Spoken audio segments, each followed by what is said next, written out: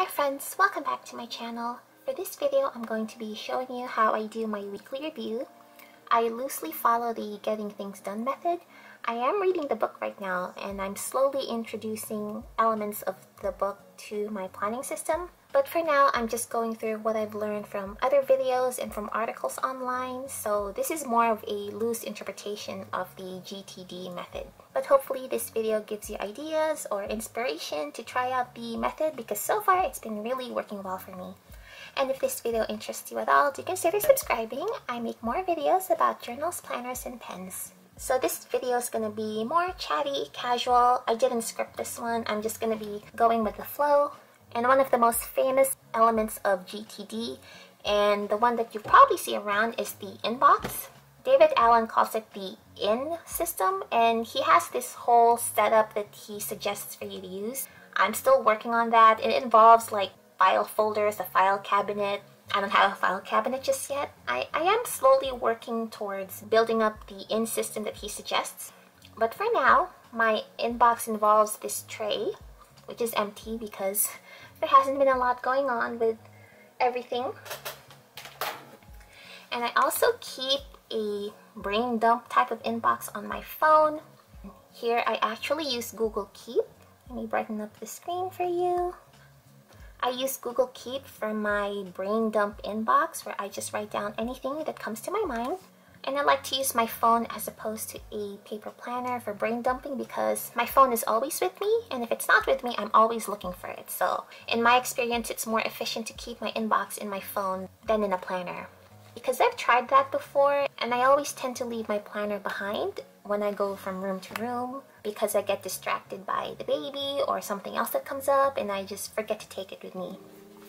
But I always keep my phone with me. So with my paper tray empty, we're gonna go through my phone inbox. Just read it out to you. And I've used Google Keep for years. I used Google Calendar and Google Keep way before I switched to paper planning. So I'm very comfortable with Google Keep. I've tried different digital apps before like Asana and Trello, but I always end up coming back to Google Keep. So let's go through my inbox. I have a couple of items here and I'll just read it out to you. Refill soap bottle, our bathroom hand soap bottle was out so I already did that because that, that didn't take very long.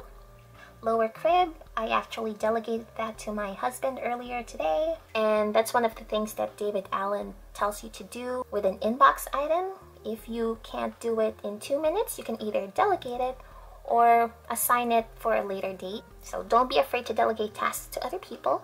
Fly Lady Control Planner. Oh yeah, I watched Milk and Honey Life's video about her control planner and I really like that idea because I feel like I could be more organized with my home management so I'm going to give it a shot. And Levenger recently had a weekend sale when everything was 40% off so I actually bought the disc punch and a set of discs and I'm gonna try to make my own home binder. So I'm really excited about that so actually I am waiting on my order to arrive so I'm gonna put it on my waiting on list Levenger order. Here we go. I just wrote it down. So Fly Lady Control Planner, that has been processed. Move action categories to Google Keep. I'm actually to assign that to my planner because that takes more than two minutes, so I'm not to do it right now. Right now, I am processing my inbox. I'm just to go ahead and put that in my planner, and I will link my previous video on how I use my Moleskine planner uh, down below and that explains what this tracker is for. So I'm just gonna go ahead and rate for today. Okay, sorry, that was off screen, um, but I went ahead and wrote it down here. This is the current week's spread. I haven't decorated it, as you can see. So back to my inbox, this item has been processed. It's been put into my calendar, or my planner. David Allen makes a distinction between your calendar and your next actions list, which if anybody's curious about the getting things done method and they want me to make a video, I'd be happy to do that. And then the last thing on my inbox is make home binder collection. So one thing about processing your inbox is David Allen wants you to decide your next action, your next physical action. So make home binder collection, that's kind of a vague task. Like how do you make something? Like what's the first step in making this collection? It doesn't really tell you much. So i have to think about the next physical step that i need to do to make this happen. I don't really know exactly what i want to put in a home binder so i have to figure that out i have to research what people put in a home binder so that's going to be my first actionable step i have to do the research i'm actually going to make a spread on my planner I'm gonna backtrack a little because I have a blank page somewhere in here. One sec. Okay, so I'm going to make a spread on this empty page in my planner.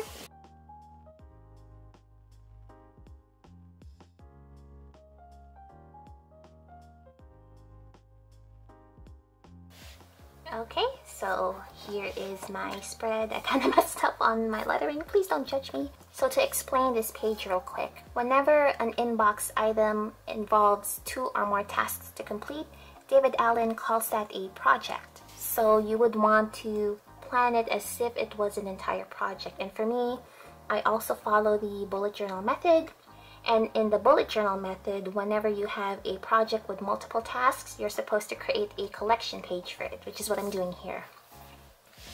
So the first step in making my home binder, like I said, is to do the research. Okay, so here's what I wrote. It says research page contents online. So that is a clear, actionable task. It tells you what exactly you're supposed to do, where you need to do it, and what you're looking for. So what are you going to do? You're going to do research. Where are you going to do it? Online. And what are you going to research? Page contents for your home binder. So that is step one.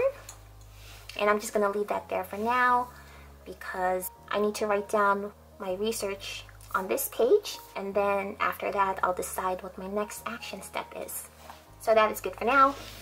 So with our home binder spread finished, we can check this off. It has been processed and our inbox is officially empty. So now I'm gonna go ahead and review my waiting on list and my someday maybe list and see if there's anything I can put in the forefront. So I am waiting on the Levenger order that I mentioned before, a Toyota recall letter, someday maybe list, let's see. Nothing I really want to take some action on right now, so that'll all just stay in the back burner. And then I also have a fold out on my pocket planner. And I like to keep this fold out in my pocket planner so that I can keep this out in the open while I flip through my main planner and I'm not constantly flipping back to look at this list. So this first part of my fold out is here so I can double check that I'm doing everything on my weekly review. So capture, brain dump, anything in my head onto paper. I've done that over the course of the week. Did I get my to-dos done? Did I progress on any goals? Hmm, I did okay. I didn't really technically finish last week's goal, but I'll finish that up this week. Scan the next four weeks. I do have a doctor's appointment next week. I know that is coming up. After that, everything's up in the air because we're just staying home. Review annual or quarterly goals. My quarterly goal this quarter is to reach 100 YouTube subscribers, which I actually did accomplish earlier this week, so hooray! Anything to be changed, added, or deleted? Uh, let me see. See if I can flip through my Q1 goals page or Q2 goals, excuse me. Baby proof the house, I am working on that. I have three goals for Q2. Like I mentioned, the 100 YouTube subscribers, plan blog. I've been thinking about starting another blog because I really miss writing. And I have more experience with blogging and I feel like I could be more efficient with it. So I've been thinking about whether I want to start a blog about planning or not. So for Q2, I'm just going to start planning on it and figure out if it's something I want to do or not. Baby proof the house. Yes, I am working on that. Good, good. Clear out mail and inboxes. Let me check my Gmail. Again, I'm just gonna go ahead and use my phone. Alright, so that is good. The second part of my fold out is the trigger list, just to make sure that I didn't forget anything. Uh, computer software policy. Nope, I think we're good. Anything that comes up over the course of the week, I'm just gonna go ahead and put in my inbox if it's not urgent. Oh, and then the last part of my fold out here is just a flow chart. It's good to have for reference. So that is my weekly review. So I'm gonna go ahead and plan the upcoming week. Okay, so here's the upcoming week. I am filming this on Sunday the 19th. Here is how I plan the upcoming week every Sunday. First off, I pick a weekly goal as I mentioned in my previous video. If you want more detail on how I use this planner, just check out that video. I have everything on there. First off, I'm going to choose what to-do sticker to put down. I try to choose a color that matches the spread. I don't know, I might just use this sticker. and this is the only sticker that I'm gonna put down, I promise.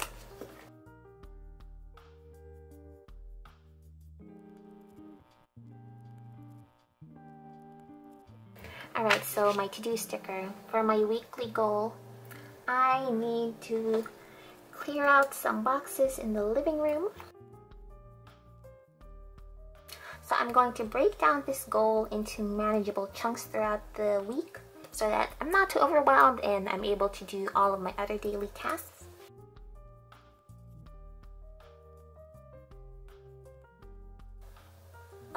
I'm not really sure what the next step is after clearing out the boxes, so I'm just gonna leave it like that for now. you know, this, this is flexible and I'll figure it out as the week goes on. I also have a doctor's appointment on Thursday and I did cover up the info because it has the location and the phone number. So next I'm going to put down some grid paper on this side and the grid paper is going to be for tracking my baby's solids for the week because he has a facial rash and I'm trying to figure out if that is possibly from a food allergy. He also has eczema so I might just be irritating his face. I think I was just too rough, but just to be sure, I'm going to keep tracking his food for this week as well.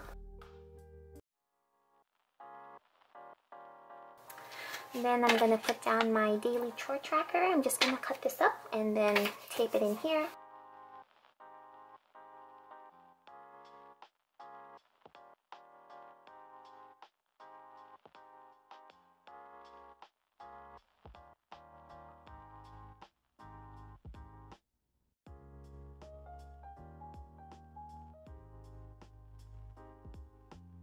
I wrote down when I should post on my Instagram and I also remembered that I need to put down trash reminders and tomorrow I plan on editing this video and taking the thumbnail picture.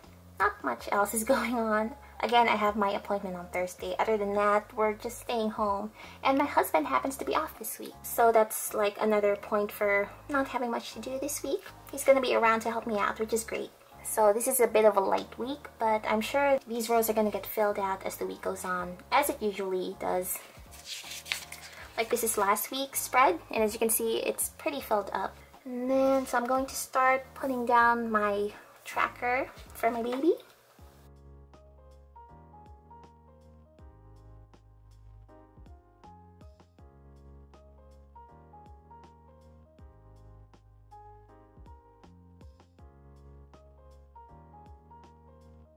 So here's how my baby food tracker looks like to start. I have the days of the week lined up with the days of the week on the left side. I have Saturday and Sunday on the same row, just like on this page. And that's fine, this is plenty of room for me. So my plan is to write down what my baby has for breakfast, lunch, and dinner. I'm going to note how his face rash is throughout the week. And I'll see if reintroducing tofu, which is right over here, is gonna do any changes and if not then we'll be good. Alright so that is it for my Moleskine. I know that's not very exciting but that's legitimately how I plan throughout the week. And then the last thing I'm going to do is I want to have a general idea of what we're to eat for the week.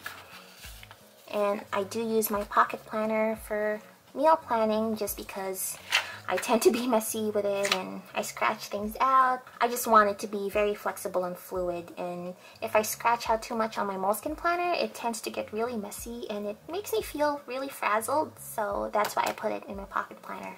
I think this is what you would call an extension planner. That's the term I've been seeing around YouTube and Instagram. I also have a video on how I use this planner. I'll link it below. So first off, since this is an undated insert, I'm going to write down the date the dates.